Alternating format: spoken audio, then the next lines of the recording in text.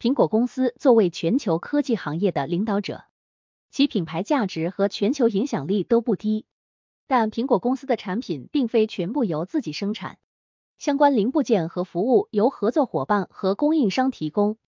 为了保证产能和自身产品的质量，苹果公司对供应商的要求很高，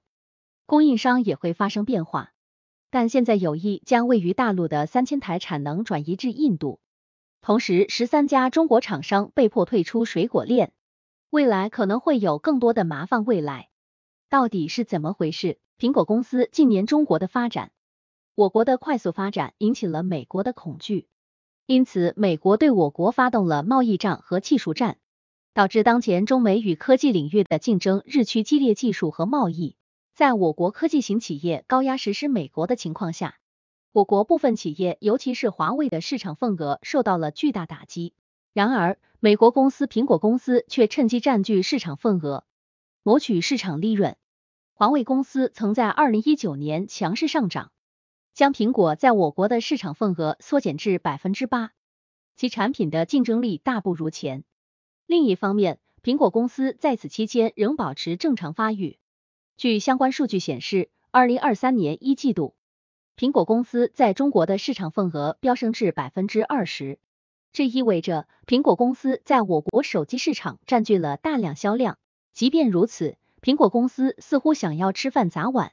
与苹果公司相关的大陆的三千万产能可能会转移给印度，也许是中国的反制裁措施。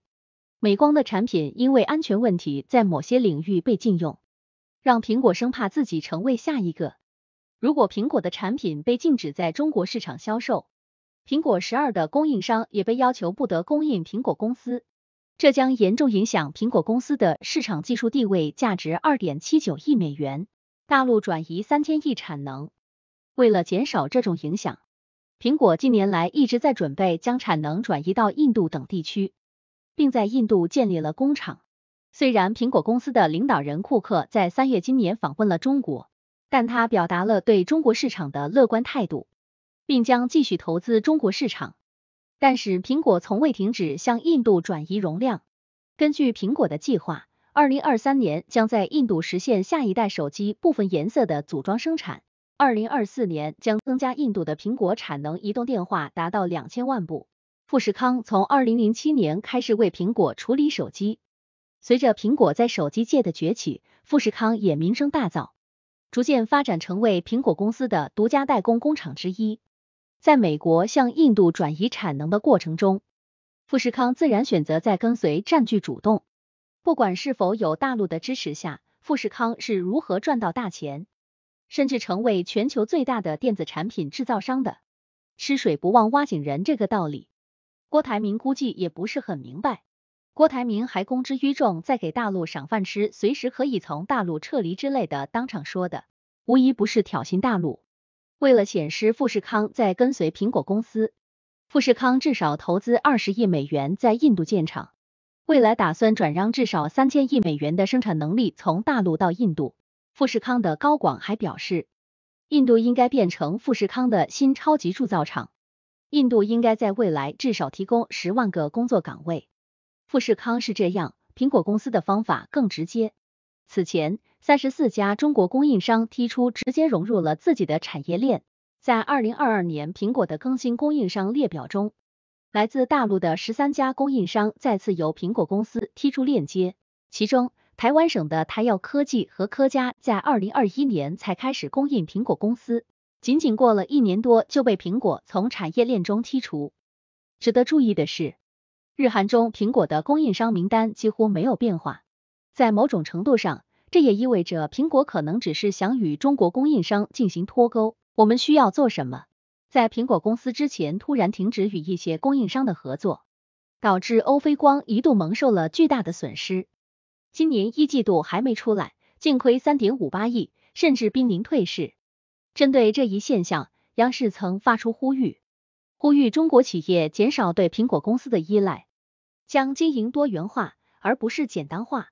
避免因苹果突发事件对自身经营状况造成严重损害。损害，有人可能认为，即便如此，中国大陆的供应商仍占苹果供应商总数的百分之二十六。仍是苹果公司供应商的主要来源。但要知道，苹果核心配件的供应商主要是美国、日本和韩国。三星和 SK 海力士等一些韩国公司为苹果公司提供内存、闪存和屏幕，日本索尼等提供相机，台积电提供 A 系列芯片等。但是的制造商十二大陆向苹果公司提供不含技术含量、附加值低的配件，这意味着这些代工产品的可替代性非常高。如果印度在富士康和苹果公司的支持下建立完整的产业链，中国大陆的四十九家苹果供应商可能很快就会被取代，因此，为了防止欧菲光的错误，这些企业应该将自己的产业多元化，就像他们可以为苹果公司代工零件一样，也可以为其他主要手机制造商提供零件，拓宽自己的业务销售市场，减少对苹果市场的过度依赖，同时要进行自主创新，无论任何时候。我们都不能放弃对自主研发和创新的投入，提高自身的技术水平和创新能力后，或许可以创造出更具竞争力的产品。产品和技术提升市场竞争力，还需要积极形成完整的产业链，以降低成本，提高生产效率。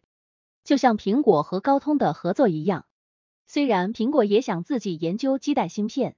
但是高通拥有大量的基带专利。也就是说，即使苹果想进行基带研究和发展，它仍然要配合苹果。所以，高通是苹果的独家 OEM 芯片。无论在什么时候，只有提升自身实力，积极发展，才能保证自己的市场份额，才不会因为合作突然被合作伙伴中断而无所适从。关注我，了解更多国际时事。